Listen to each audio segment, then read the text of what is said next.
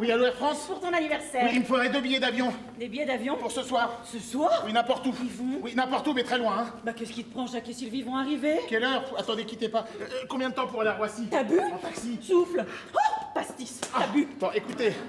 Euh, il est 19h30. Raccroche On dit taxi 20h, embarquement 22h. Ils vont... Bah-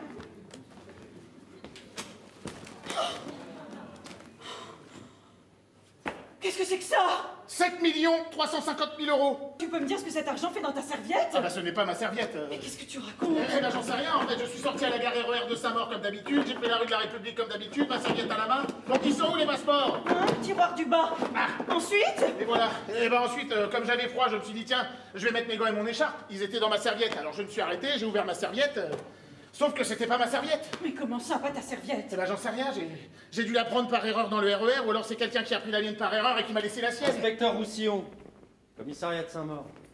Ah d'accord. ouais. Il y a un problème?